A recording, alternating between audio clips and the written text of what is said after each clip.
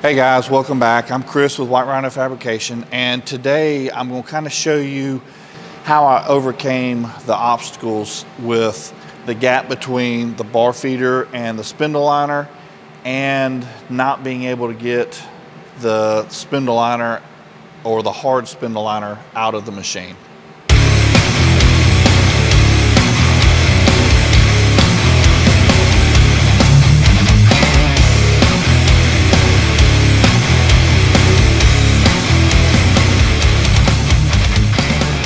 So this is kind of the issue I talked about in my other video. This slides in and if you notice, I machined it to have like a 30 second gap here so that it would clear, but it was a quarter inch or so taller. And so it would come up and hit this sheet metal just like that. And you know, for as much as these machines cost, you don't want to cut the sheet metal and make it look bad and I just wasn't going to do that. So this was, um, that was my fix. And I don't know if that's a bad fix or a good fix, but I know it's fixed. So that's kind of what I'm, I'm working with. So, so this is how I was able to get it so I didn't have to pull this off every time. So the next thing that I did to address the gap between the bar feeder and this and I'm gonna show you the whole assembly here. So, you, again, you have to have these uh, spacers to fill the inside. And so I just reused those. And then I purchased the spindle liner kit for the, the three inch bore lathes.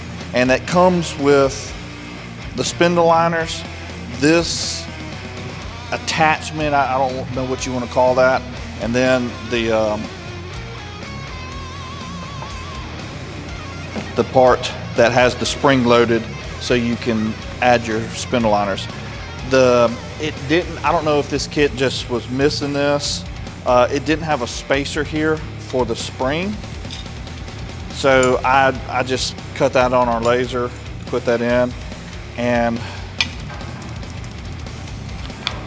and this works really well. So what I did though is on this machine, I machined this adapter that screws into this and then this screws in to the, um, the spindle liner or the, the big bore kit, if you will. Um, and, and that basically takes up the gap between that and the bar feeder allows me to use the spindle liners that I thought was coming with the machine. And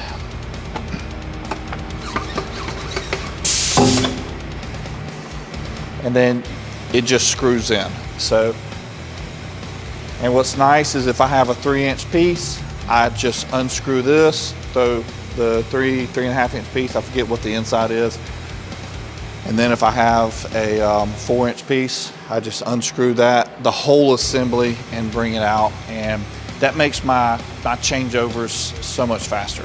It's definitely more efficient this way.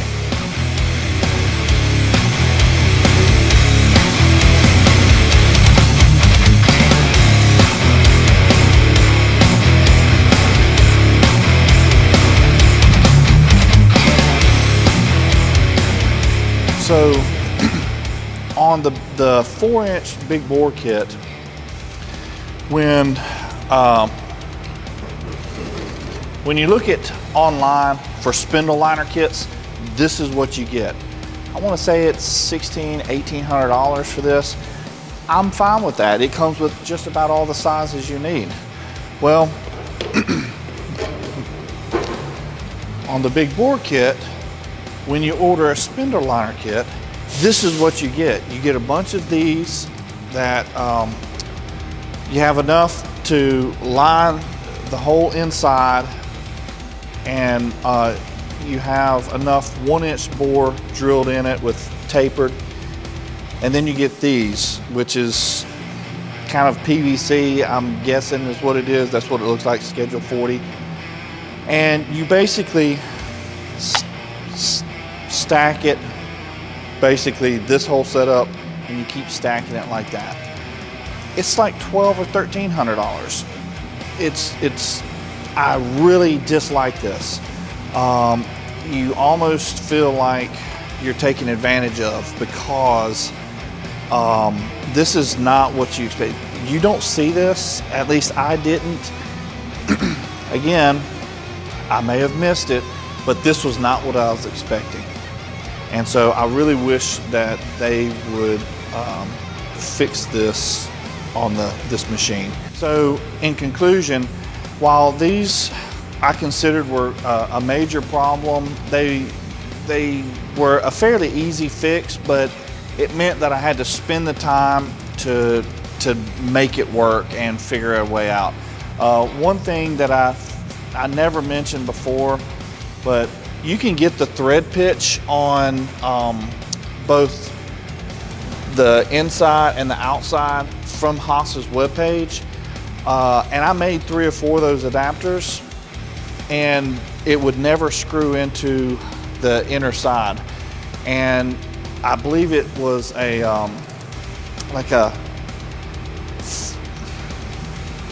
four millimeter pitch, or I don't remember exactly, but it turned out that it wasn't a four millimeter. It ended up being like a 4.2 millimeter pitch, and that was the only way I could get it to screw in. So I, I really had to play around with that to get it, but for the most part, I, I spent a day kind of coming up with a, a, solution for this, which um, it is what it is, but that's that is something I think the factory could really improve on and, and take care of for future use.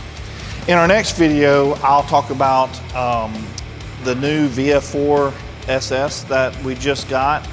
Almost one year to the day from the ST35 and how, how the installation went, the few little things that I ran into and a few things that I, I did to fix it.